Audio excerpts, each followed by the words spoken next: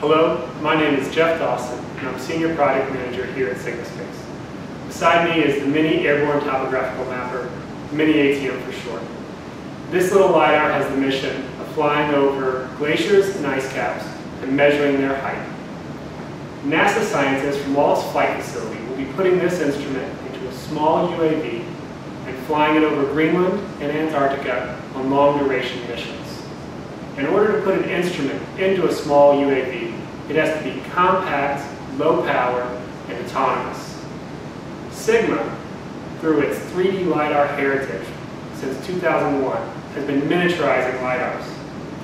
This instrument represents the best that we've done so far. We've abandoned the traditional aluminum structure and gone with carbon fiber for optical bench.